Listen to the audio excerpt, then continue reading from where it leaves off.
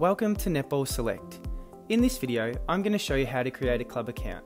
It's important to note that there are no costs associated with creating an account and your profile will remain active for as long as the club wishes so. First click on the club registration icon. Enter your login details including a valid email address and you'll need to create a password. Use the guide to ensure it's strong enough. Enter your club name and the association that you're affiliated with. Then we'll need your treasurer's details. This will ensure all paperwork and payment processing is sent back to the correct person.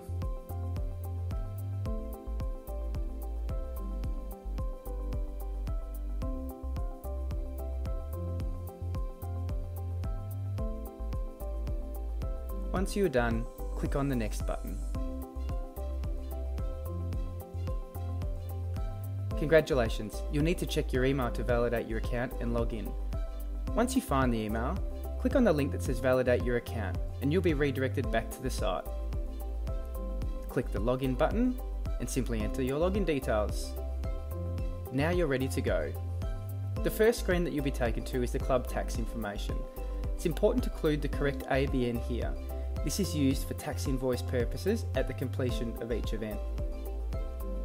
Your club profile will allow you to change or update any details. If there is a change of role, you can do that here. Payment settings, we will be using PayPal, so please ensure you have a valid PayPal email address and click Update. Your club logo is an important part of the process. It will assist players to find you efficiently and ensure that they register for the correct event.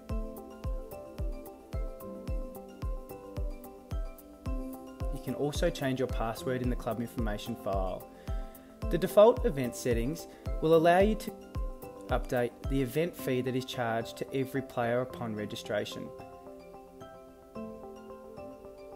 Once you're done, click update and you're ready to go.